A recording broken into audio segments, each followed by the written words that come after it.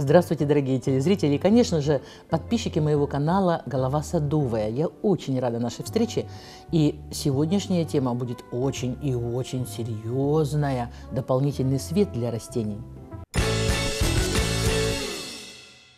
А посмотрите на меня. Я сегодня хороша, безумно просто, правда? Мне очень идет такой нежный розовый цвет. Ну, я, это отступление, конечно. Очень а. хочется, чтобы растения, которые мы приготовили к посеву, да я даже не знаю слова такого, чтобы очень хорошо а, взошли, росли, а потом цвели, а потом плодоносили, наградив нас изумительным урожаем или цветами, или, я не знаю, там, семенами. Но для того, чтобы это произошло, надо немножечко потратиться и, конечно, потрудиться. Что же нужно растениям для того, чтобы все было как мы хотим? Конечно, это а, воздух, конечно, углекислый газ, конечно, это вода, но, разумеется, солнечный свет. Но где взять этот солнечный свет зимой? Некоторые из вас э, уже махнули рукой и пошли от телевизора подальше. Совершенно напрасно. А, для того, чтобы вы на протяжении очень долгих лет могли помогать растениям в их э, всходах, там, росте и плодоношении и цветении, а, есть маленькие а, секретики, которые стоят, знаете, ну, не бешеные деньги, это точно. Вот а, рядом со мной стоит рассада. Вот представьте себе, какая уже она, эта рассада – а сейчас только декабрь. Так вот, рядом с этой рассадой стоит настольная лампа. Обычная, да, ну, наверное, даже, может, и китайская. Дело даже не в этом. Любая настольная лампа пригодится и э, будет служить вам просто верой и правдой очень долго, только лампа для нее нужна необычная – так какая же необычная лампа с таким же цоколем, как обычная э, настольная лампа, э, совместить все это вместе, и получится то, что мы хотим, что в декабре, в январе, в феврале солнца еще очень мало, а нам его надо вот так вот. Нам надо такую лампу, чтобы она светила ярко, выдавала лучи, те, которые нужны растениям, и при этом не нагревалась, и не ела много энергии, и КПД было 90 с лишним процентов.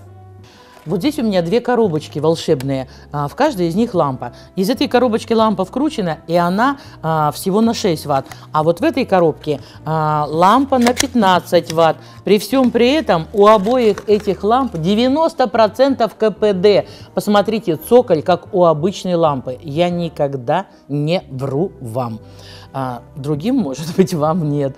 И э, я хочу включить вот эту лампу, и чтобы вы увидели, какой же у нее спектр света. Видите?